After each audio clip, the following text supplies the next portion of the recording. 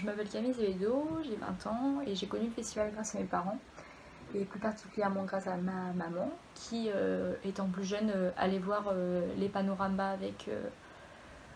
avec ses parents. Donc, vu que ma mère connaissait, elle m'a emmenée depuis petite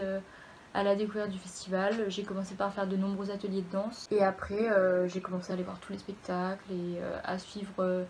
la plupart des ateliers, des ateliers masques, des ateliers manuels. Depuis 4 ans, c'est ma quatrième année et ça aurait dû être ma quatrième année en tant que guide. Pour moi le bénévolat c'est beaucoup à la fois, donc c'est très dur de le décrire, mais euh, c'est avant tout euh, aider les autres et euh,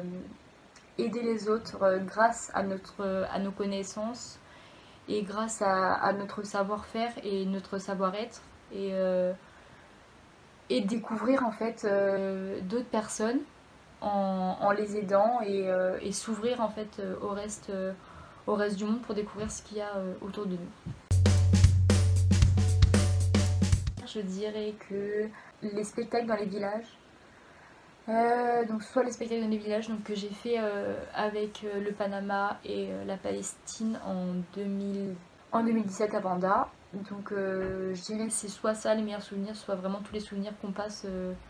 bah, entre nous, euh, entre les, groupes, que ce soit au niveau de, la restauration, de l'hébergement, enfin tous ces souvenirs-là qui sont extérieurs, qui se voient, que les festivaliers ne voient pas.